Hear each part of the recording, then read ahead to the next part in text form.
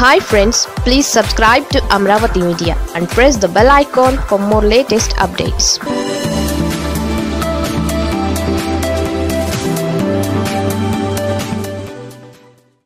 జగన్కు ఆ మంత్రి ఎంపికే పెను సవాల్. ఏపీలో కేబినెట్ ప్రక్షాళనకు రంగం సిద్ధమవుతోంది. కేబినెట్ భేటీ తర్వాత సీఎం జగన్ మంత్రుల్ని రాజీనామా చేయాలని కోరుతున్నారు. ఆ తర్వాత కొత్త కేబినెట్ మంత్రులకు సమాచారం ఇస్తారు. అనంతరం ఈ నెల పదకొండున కొత్త కేబినెట్ ప్రమాణ స్వీకారం ఉంటుంది. అయితే ఇందులో కీలకమైన ఆర్థిక శాఖను జగన్ ఎవరికి అప్పగించబోతున్నారనే దానిపై ఉత్కంఠ నెలకొంది. ప్రస్తుత ఆర్థిక పరిస్థితుల్లో మూడేళ్ళుగా తీవ్రంగా శ్రమిస్తూ నెట్టుకొస్తున్న ఆర్థిక మంత్రి బుగ్గన వారసుడెవరన్న దానిపై ఆసక్తికర చర్చలు సాగుతున్నాయి. ఏపీ కేబినెట్లో ఇరవై ఐదు మంది మంత్రులున్న వారిలో అత్యంత కీలకమైన మంత్రి ఆర్థిక మంత్రే. గత ప్రభుత్వాలతో పోలిస్తే వైసీపీ ప్రభుత్వ హయాంలో ఈ విషయం ఎవరిని అడిగినా చెబుతారు. ఎందుకంటే అసలే అప్పుల పాలైన రాష్ట్రంలో భారీ ఎత్తున సంక్షేమ పథకాలు అమలు చేస్తున్న సీఎం జగన్ నిత్యం చూసేది ఆర్థిక శాఖ వైపే. అందులోనూ తనకు అత్యంత విశ్వసనీయుడైన సీనియర్ నేత బొగ్గన రాజేంద్రనాథ్కు ఆయన పగ్గాలు అప్పగించారు. దీంతో ఆయన తనకు అప్పగించిన బాధ్యతల్ని ఎన్నో విమర్శల్ని తట్టుకుంటూ మూడేళ్ళుగా సమర్థంగా నిర్వహించారు.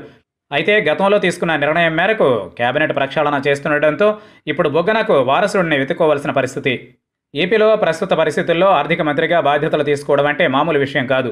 ఎందుకంటే అప్పులతో నెట్టుకొస్తున్న రాష్ట్రానికి నిధులు తీసుకురావడం ఓ ఎత్తు అయితే రాష్ట్రంలో కేటాయింపుల విషయంలోనూ అనునిత్యం అప్రమత్తంగా ఉండాల్సిందే. లేకపోతే విమర్శలు తప్పవు. ముఖ్యంగా భారీ ఎత్తున సంక్షేమాన్ని అమలు చేసేందుకు అవసరమైన నిధుల కోసం ఎప్పటికప్పుడు కొత్త దారులు వెతకాల్సిందే. లేకపోతే సమస్యలు తప్పవు. దీంతో ఇప్పుడు కాబోయే ఆర్థిక మంత్రి సవాళ్ళు స్వీకరించేందుకు సిద్ధంగా ఉండేవారు కావాలని జగన్ కోరుకుంటున్నారు.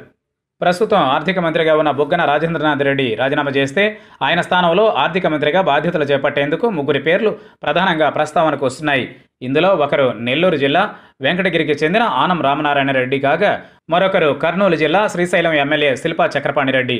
వీరిద్దరూ సీనియర్లే. రాజకీయాలలో డక్కా ముక్కీలు తిన్నవారి. వీరిలో ఆనం కాంగ్రెస్ నుంచి వైసీపీలోకి వచ్చి గెలిచారు.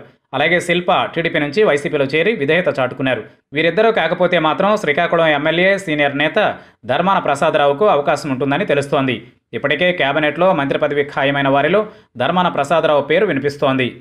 కొత్త ఆర్థిక మంత్రి ఎంపిక ఖచ్చితంగా సీఎం జగన్కు కూడా సవాలుగా మారబోతోంది.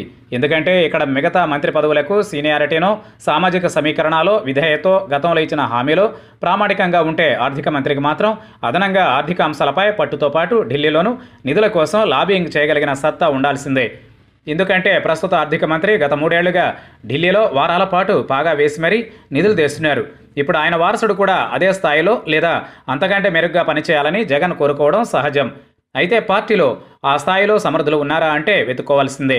ఇందులో ఆనంకు గతంలో ఆర్థిక మంత్రిగా పనిచేసిన అనుభవం ఉంది. శిల్పా చక్రపాణి రెడ్డి మండలి డిప్యూటీ చైర్మన్గా పనిచేశారు. ధర్మాన రెవెన్యూ మంత్రిగా పనిచేసిన అనుభవం ఉంది.